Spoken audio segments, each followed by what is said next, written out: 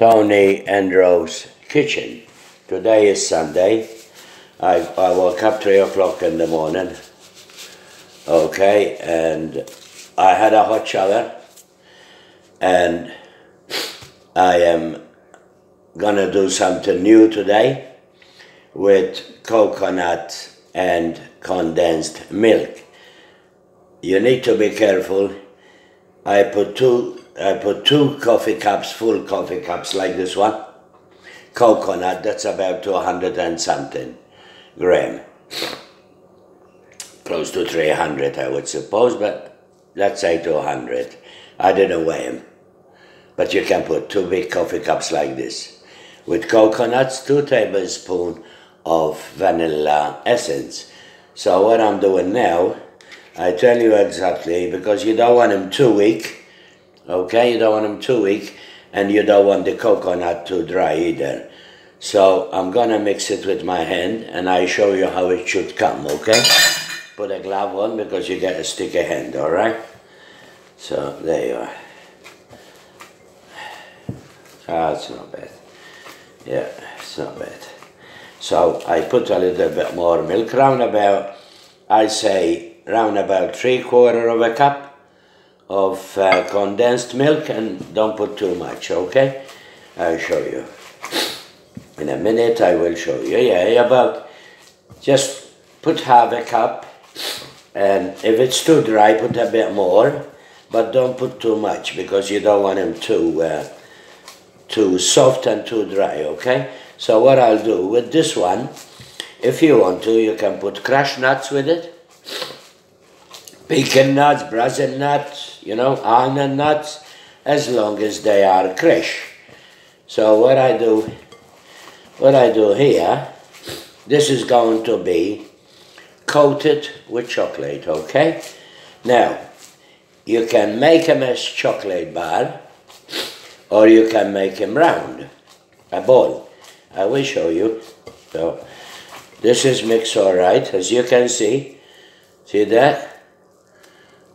You squash them like that, and if they don't feel dry, it's all right. And then you put them into a bowl like that, and they are perfect. So don't make them too dry, and don't make them too, too liquidy, just like that, look. So, and here I've got a tray with glad wrap, which I'm gonna put the balls in here, like that. See, look. Okay, maybe I can go far, I don't know yet. Let's have a look if I need to go a bit further so you can see what I'm doing. Yes, you can. So what I, what I meant to say is when you put, I put nearly half a cup of condensed milk with two large coffee cup of um, coconut. So when you press it like that, see that? It's a bit sticky, that's good enough. So what you do, put them on your hand and roll them into a ball, like that. Don't press them, just, just nice, don't press them, okay? Like that, see? You gotta press them a tiny bit, but not much, okay? As I put it too big, this one, see, and that's not good to put it too big. So you can't round it, but you can, look. See? You need to put a tiny bit of oil in your hand if you want to, but you don't, you don't have to. Look. Put them like that. Put them on your glad wrap. Okay. Like that. And squash them a bit.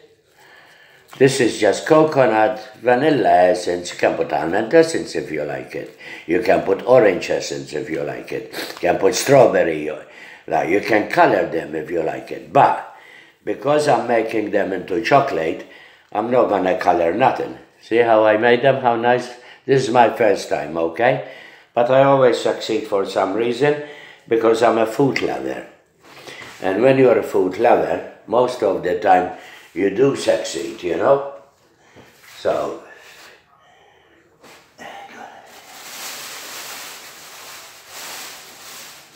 okay, I just get some tissues. I can, yes.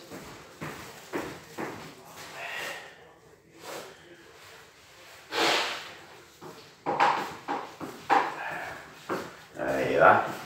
Okay. So, when you uh, see, you roll them into a ball like that. Don't squash them, just keep rolling. Okay? Have a look. Beautiful, aren't they? But don't squash. Just roll, roll them gently. Be kind. Be kind, have respect. You don't have to make them big, because if you make them big, it takes longer to roll. Them. So press them a bit like that first. I show you exactly what I'm doing, like that, and then round them. See? Can't, just don't press, because if you press, you break. Okay, just nice. You can press them, you can press them with your hands until, like this, see? Like that, press them slowly. I teach you the best, you know, how I know. Of course, the best for me, so it has to be the best for you. Make it like that and then round it. See? Round it to a ball and you can make them as a bar too, a long bar.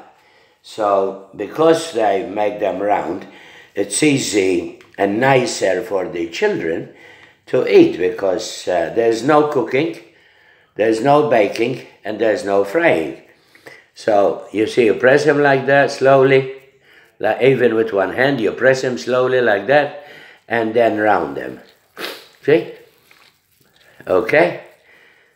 One to mix, and this one after I wash my hands. So you've got plenty here. You press them, press them like that. You can press them with my hand too, if you want to, with the gloves or whatever, and then round them. And you make them into a solid ball. When you make them into a solid ball, put them in the fridge for a couple of hours. So it gets uh, chilled, okay? It gets chilled and it, uh, when you dip them in the chocolate, the chocolate will dry uh, immediately, not for very, uh, not very long, you know? So it costs you maybe two dollar all, but you can't buy them for two dollar the chocolate because you buy one bar over nearly two dollar these days anyway. So, you know, so you got three, six, nine, you got twelve balls out of it. But if you put more, you need to put more condensed milk. Look at that. They look beautiful, they look good, and they look sensational. And now, before I wash my hands and touch them, it tastes beautiful. No kidding. Now I wash my hands. Okay. Ooh, nearly put milk in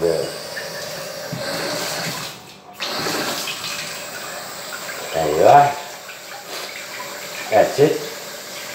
Uh, now I switch the video off.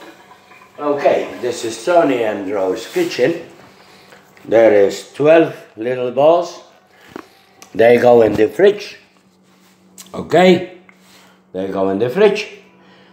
A couple of hours later, or four hours, or six hours, whenever you want. Okay, but don't leave them too uh, too many hours. Melt the chocolate. I will do another video after to show you how they come, how they come. Okay. May God bless you. God be with you. Have a beautiful day. And that's the only thing I can pass the time since my wife died. If I cook, I'm a bit of different person. If I don't cook, I go downhill. God bless you.